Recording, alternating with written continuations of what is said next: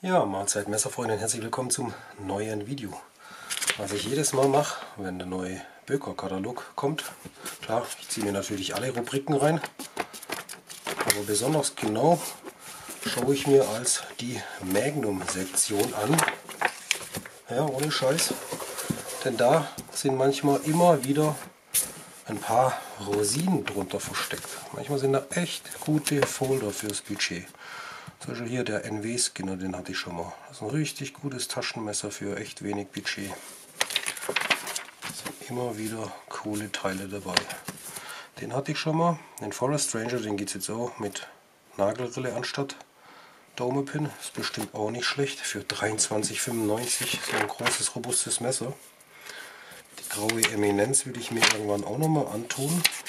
Oder hier das Ding sieht auch ziemlich vielversprechend aus, dieser kleine Stachel hier. Das Raccoon, also Waschbär. Ja, gut, kostet aber auch 52 Euro.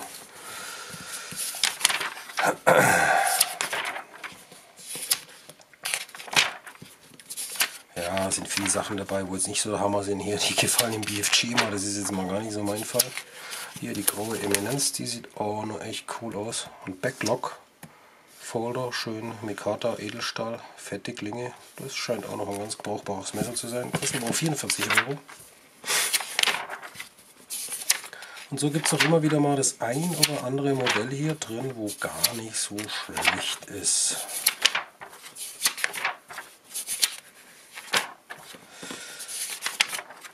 Und da ist mir aufgefallen in dem neuen Katalog ein neues Modell. Okay, haben wir es jetzt überblättert. Wo ich mir dachte, hm, sieht gar nicht so schlecht aus. Genau, da haben wir es ja. Für 31 Euro. Der Two-Handed Fat Check. Da habe ich mir gedacht, hm, das Teil schaue ich mir doch mal genauer an. Das könnte dann wieder so, ein, so eine Rosine sein hier zum Rauspicken diesmal. Das Two-Handed Fat Check ist ein fein verarbeitetes, dabei aber ein derbes Arbeitsmesser. Die zweihändig zu öffnende Klinge aus 440A Stahl verfügt über einen hohen Anschliff und ein reizvolles Two-Tone-Finish. G10-Schalen sind beidseitig, beidseitig geriffelte Riffelungen, Rillungen eingefräst. Clip unterstützt die Alltagstauglichkeit. Ja, bestellt, war auch ratzfatz da. Kommt hier in der Böker Magnum Standard Blechbox. Die muss man nicht wegschmeißen, da kann man die Innereien rausnehmen, hat man irgendwelche Kleinigkeiten, noch eine praktische kleine Aufbewahrungsbox. Und das ist das coole Teil und ich muss sagen, ich bin echt wieder begeistert. Das ist wirklich wieder, habe ich mich nicht getäuscht, das ist wieder Rosinenpickerei gewesen und das ist wieder so ein Modell, wo ich sage, yep, die küren zwar jedes Mal, das verstehe ich irgendwie, die machen ja jedes Jahr so das, das Böker Magnum Messer des Jahres. Das ist ja immer ein Messer aus der Böker Segment, jedes Mal so eine riesen Fixblade in Zusammenarbeit mit irgendeinem Designer, das sollten die aber auch genauso machen. Der Böker Magnum Folder des Jahres, da hätte ich nämlich schon einen für 2018, nämlich hier der Big, der, der Fat Check. Das ist nämlich ein wirklich cooles Taschenmesser fürs Budget. Schauen wir uns das ein bisschen genauer an. Erstmal diese wirklich schön geriffelten, gegroovten G10-Griffschalen, die geben richtig gut Halt. Auf beiden Seiten. Hier sehen wir den Clip, auch schön Stonewash in schwarz.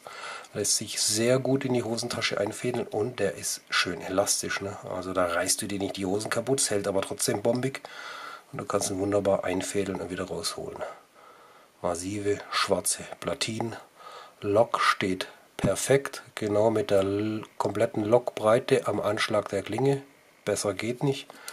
Und auch die Klinge sitzt absolut mittig, hat kein Spiel, da passt alles bombig. Das Ding läuft wie auf einem Kugellager, aber ich glaube, das sind irgendwelche, man sieht so weiße Wascher, Keramik, Kunststoff, irgendwas, aber läuft wie auf Butter. Also wenn man den, den, also den Liner Lock reindrückt, dann fällt das Ding. So fein läuft die Klinge. Wir haben hinten drin einen schön auch nochmal gefrästen mit Rillen versehenen Backspacer. Einwandfrei da drin. Bloß hier seht ihr jetzt, was nicht so schön ist. Das ist das einzige, sag ich mal, Verarbeitungsmängel. Am Ende vom Griff stehen die G10-Griffstahlen so einen halben Millimeter über. Das ist jetzt nicht so schön. Das ist das einzigste Verarbeitungsmängel. Und ich sag mal, das Lanyard-Hole hätte man sich sparen können, da der Clip nicht umsetzbar ist und das Messer bloß tip-down ist.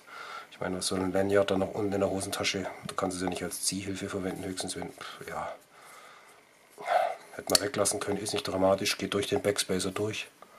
Also schön versteckt. Hier haben wir vorne wunderbar Stonewash Finish und dann nochmal drüber poliert, also das ist super weich, super glatt. Das Messer kam super scharf und rasiert wie die Sau. Geht durch Papier wie durch Butter, also perfekt abgezogene Klinge. Oben schön auch so geschwärzt. Und das Ganze so ein bisschen im Sheepfood-Style. Sieht nicht so aggressiv aus. Richtig schöne Klinge. Hat zwar eine Nagelrille, bloß das Messer, sag ich mal, lässt sich wunderbar einhändig öffnen, lässt sich auch sogar durch die Größe und die Schwere der Klinge rausschleudern. Also ja, 42 Jahre. Lassen wir mal die Diskussion. Klasse Messer. Hier ist nur gelabelt mit 440A. Jo, was werden die da verwenden? Irgend so ein 7 CR13 MOV oder sowas. Aber die Dinger rosten nicht bricht nichts ab, bricht nichts aus und du kriegst sie super schnell wieder scharf. Wenn der mal nicht mehr so ganz scharf ist, dann gehst du in die Küche, nimmst du deinen Küchenstall raus, ziehst du den zehnmal drüber und dann ist das Ding wieder rasierscharf. Da brauchst du nicht anfangen mit irgendwelchem Diamant, Diamantschleifmaterial arbeiten. Das Ding einfach mal kurz über den Küchenstahl, dann über den Ledergürtel, fertig und das Ding rasiert wieder. Schön schwarz die Platinen da drin. Schönes All-Black-Modell mit Stonewash, silberner Klinge, richtig schöner Effekt. Und ja, es ist wirklich fett, es hat richtig schön Volumen und liegt dadurch aber wirklich super in der Hand. Und sag mal, ist ein bisschen für kleinere Hände gut. Ich sag mal so bis Handschuhgröße 9 wahrscheinlich perfekt. CR gut, hinten dran hat man ein bisschen Luft. Ich habe 8,5, 9, 9,5, 10 wird wahrscheinlich schon ein knapp. Aber für mich die perfekte Handlage da vorne. Schön Fingerguard. Also cooles Teil. Gucken wir mal, was wir hier ein wenig an Klingenstärke verbaut haben. Jo, 3,5 3,5 mm Klingenstärke. Hinter der Schneidphase so 0,6 bis 0,7. Schneidet aber besser, als man bei der Größe vermuten lässt. Wie lang ist die Klinge? Ja, das ist eine 85 mm mit einer Schneide von 79 mm Gesamtlänge 19,6, also noch knapp unter 20 cm. Ist noch nicht zu groß.